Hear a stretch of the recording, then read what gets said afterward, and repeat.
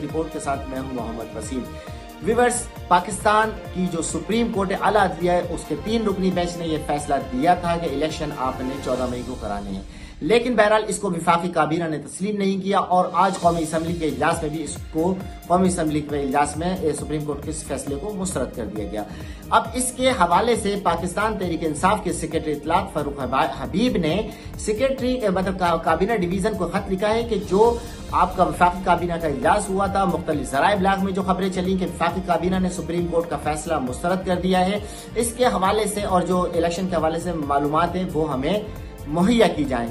आइन का आर्टिकल है ए वन जिसके तहत उन्होंने लेटर लिखा है कि हर शहरी को यह हासिल है। वो अगर किसी हुकूमती मामला में किसी से मालूम लेना चाहता है हुकूमती मामला के तो वो ले सकता है और यह हमारा आइन हक है। और ये लेटर अब उन्होंने कौमी असम्बली सेक्रेटरी कैबिनेट अब आप देखें, दूसरा जो सबसे बड़ा काम इस इम्पोर्टेड हुकूमत, शहबाज शरीफ हुकूमत ने किया है, वो कौमी सलामती का इजलास बुलाने जा रहे हैं। आपके इल्म में जब साइफर का मामला हुआ था और इमरान खान वज़ीर अजम थे तो उन्होंने कौमी सलामती का इजलास बुला के जो सारे मामला थे, उसको कौमी सलामती में रखा कि साइफर आया है या नहीं है, वो हकीकत है या नहीं है। उससे उन्होंने एलामिया जारी करवा दिया था, जो उनके लिए बाद में ट्रंप कार्ड साबित हुआ। अब यही हरकत कुछ शहबाज शरीफ साहब करना चाहते हैं। इलेक्शन के हवाले से कौमी सलामती का कल उन्होंने इजाज तलब कर लिया है।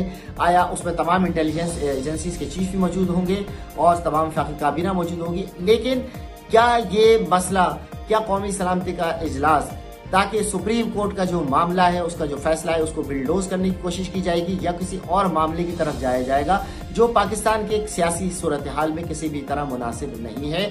पाकिस्तान में इस वक्त तमाम सियासी रहनुमाओं को बैठकर इन मसले का अफहम तफीम के साथ हल करना चाहिए। ये सियासी टर्मोइल हमारे सियासी निज़ाम के लिए भी एक बड़ा नुकसानदेह है। तो ये बहरहाल हमारे तमाम सियासी रहनुमाओं, बशमूल आपके शहबाज शरीफ और उनकी काबीना को ये बात और उनके तहदियों को ये बात समझना चाहिए। तो आज की खसूस रिपोर्ट के साथ हमें इजाज़त दें। खुश रहें, सबको खुश रखें। अल्लाह के बाद